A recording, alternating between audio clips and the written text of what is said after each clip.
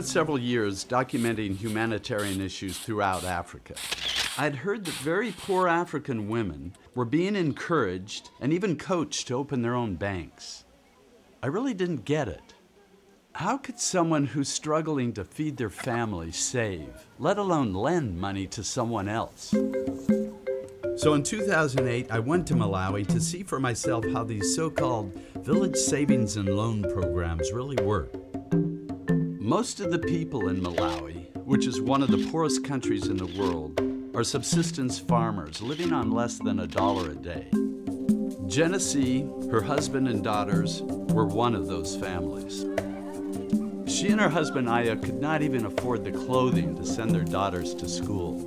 Food itself was a luxury item for several months out of the year. Genesee clearly remembers that day eight years ago when CARE came to her village to present the VSNL program. 70 people went to that meeting, but it wasn't long before Genesee and 60 others walked out. CARE offered no grants, no loans.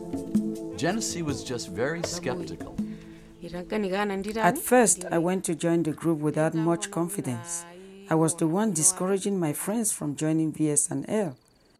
I had a change of heart when I saw what was happening with my friends and decided to go. Once in the group, Genesee committed to save 20 cents a week. She stuck with it. And today, five years later, the results I saw were almost unbelievable. In the very first year, she took out a loan to buy fertilizer. That crop fed her family for the entire year. This caught her husband's attention. He started giving her money from his carpentry business to save. Today, their three daughters are in school. They've not only purchased an ox cart and livestock, but they've also purchased farmland and land to build rental houses. As in so many developing countries, women here grow the food, they collect the firewood and water, they take care of the children and animals, but rarely do they handle the family's income. Yet it's women's discipline to save and repay loans that make VSNL such a success. And it's women's tendencies to invest in their families that make VSNL so effective in fighting poverty. At first, it was just uh, getting a cash hand. It's like hand to mouth. Once they get the money, they could use it immediately. But now, when the woman started uh, saving in village savings and loans, they are able to keep a lot of money and use it to achieve bigger things in life. The people now in this community, almost each and every person has an interest so that he can go to join VSNL after seeing what the women are doing. The community now respects the women. Now, that's progress. Eight years after CARE started that very first VSNL group in Genesee's village, 25 groups have started on their own without depending on any outside support.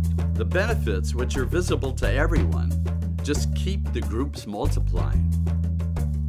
Elise is the treasurer of one of the 65 groups in her community. She became a member of a VSNL group in 2006 and has never looked back.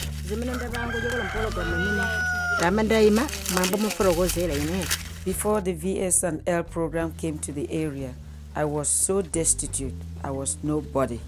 Soon after the introduction of VS and L, my life really improved from zero to somebody.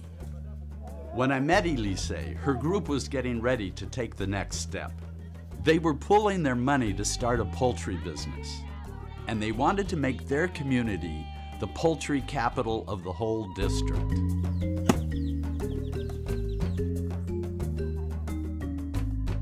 When we have a group business, it not only means our own households are better off, but the whole community is stronger. Kaundama will be known for where the women have a poultry business. Now, after visiting over 40 groups, I realized that the VSNL process not only tackles poverty, but it instills pride and it strengthens relationships between women and relationships between husbands and wives. And most importantly, it empowers, and it builds respect for women. And women's empowerment is so central in the fight against poverty. I could never imagine having a cell phone, buying iron sheets for the roof, and peace. In my heart, I have peace.